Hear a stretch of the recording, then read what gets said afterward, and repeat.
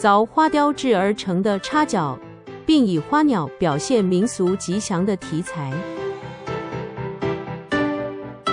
关于插角，又称为托木或是雀替，在大木建筑中所见的插角，是位于梁柱之间，作为直角交叉的装饰雕刻，通常是以成对的方式出现。除了具有稳定梁柱的功用之外，又可增加视觉美观的效果，因此在造型上呈现直角三角形。论及该件插角的花鸟雕刻，是采镂刻的半圆雕形式来表现。位在画面的右上方是反身而下的孔雀，另在孔雀下方的背景，则是石榴的花果与枝叶。